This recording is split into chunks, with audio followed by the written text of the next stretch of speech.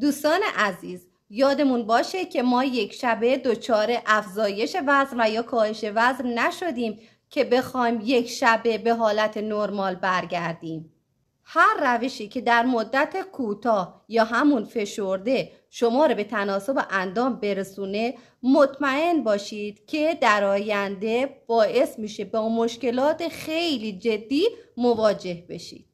اگر وقت و هزینه باشگاه هم نداری زیاد نگران نباش.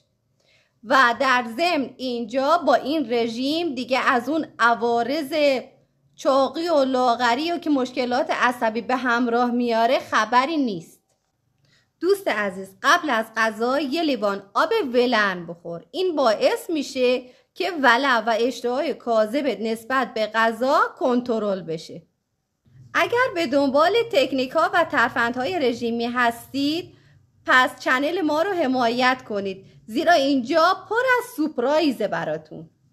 امیدوارم که با لایک و کامنت از ما حمایت کنید و ما هم بتونیم مطالب مفیدی رو که برای آینده و سلامت شما مورد نیاز هست و در خدمتتون ارائه بدیم.